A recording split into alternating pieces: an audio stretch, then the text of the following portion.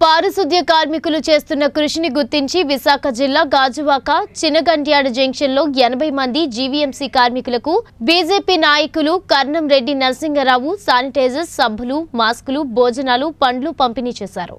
ఈ సందర్భంగా కర్ణం రెడ్డి నరసింగరావు మాట్లాడుతూ ప్రధాని నరేంద్ర మోదీ పిలుపు మేరకు డెబ్బై రెండవ వార్డు బీజేపీ కార్పొరేటర్ అభ్యర్థి సిరసపల్లి నోకరాజు ఆధ్వర్యంలో కేఎన్ఆర్ ఫౌండేషన్ చినగంట్యాడ యూత్ కలిసి వార్డులో నిరంతరం రోడ్లు కాలువలు శుభ్రపరుస్తూ కరోనా వైరస్ వ్యాప్తి చెందకుండా విశేష కృషి చేస్తున్న పారిశుధ్య కార్మికులను అధికారులను సన్మానించుకోవలసిన అవసరం ఎంతైనా ఉందని గుర్తు చేశారు. ఈ కార్యక్రమంలో సిరసపల్లి సత్యనారాయణ కర్రి రాజు పచ్చికోరు తదితరులు పాల్గొన్నారు.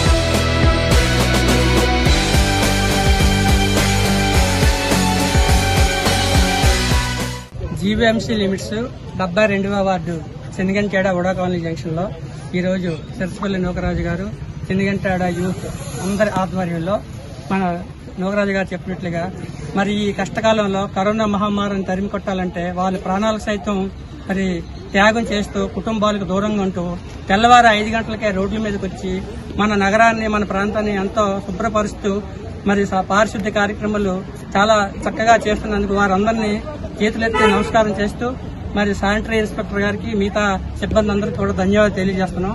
ఎందుకంటే ఇప్పుడు కరోనా మహమ్మారి రాకుండా ఉండాలంటే పారిశుద్ధ్యం అనేది చాలా ఇంపార్టెంట్.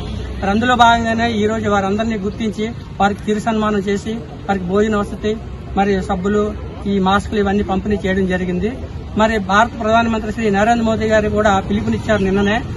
మన భారతదేశంలో ఉన్నటువంటి మెయిన్ పారిశుద్ధ్య కార్మికులకు పోలీస్ డిపార్ట్మెంట్ వారికి రెవెన్యూ డిపార్ట్మెంట్ వారికి వీరందరూ డాక్టర్స్కి కూడా మన వీరే మనకి ప్రత్యక్ష జయం దైవం. వీళ్ళని మనం ఖచ్చితంగా సన్మానించుకోవాల్సిన అవసరం ఎంతైనా ఉంది. వీరందరికీ కూడా మరి పేరు పేరున అందరికీ ధన్యవాదాలు తెలియజేస్తున్నాం. ఈ కార్యక్రమంలో యూత్ కూడా చాలా ముందుకు వచ్చారు స్వచ్ఛందంగా. అందరినీ కూడా అభినందిస్తున్నాం.